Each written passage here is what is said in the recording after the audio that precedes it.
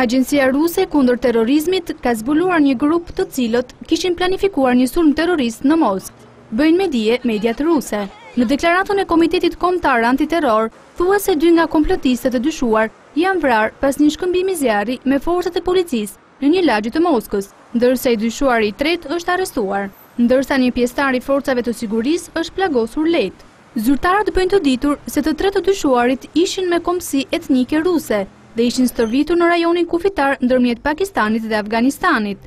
Ndërko, nuk janë dhënë detajet të tjera lidur me këtë komplot. Autoritetet po jetojnë për ndonjë lidhjet të mundshme me të dyshuarve dhe lëvizjes militante islamike të Uzbekistanit.